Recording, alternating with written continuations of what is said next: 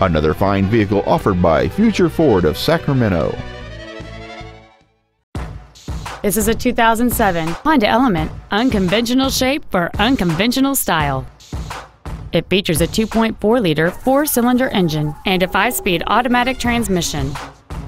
Its top features include heater vents for rear seat passengers, cruise control, a keyless entry system, a premium audio system, aluminum wheels, a passenger side vanity mirror, privacy glass, a low tire pressure indicator, a CD player, and an anti-theft protection system.